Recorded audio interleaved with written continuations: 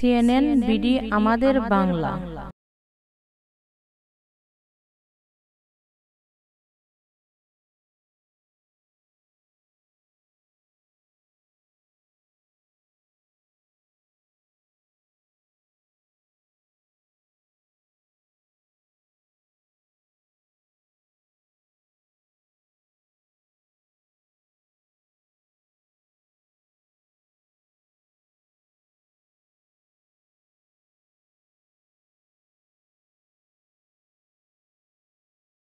ফলনও ভালো হয়েছে।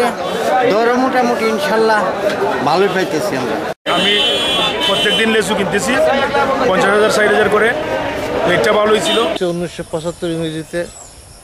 তখন থেকে এই বাজারে লিচুই আমদানি হচ্ছে লিচুই আমাদের এলাকার লিচু চাষ হচ্ছে। আমাদের বিজয়নগর উপজেলাতে এবার তিনশো সত্তর হেক্টর লিচুর আবাদ করা হয়েছে।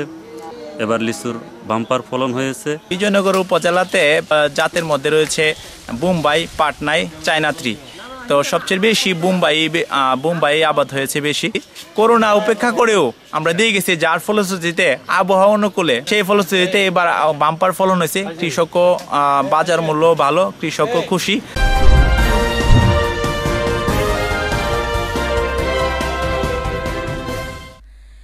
সিএনএন বিডি আমাদের বাংলা।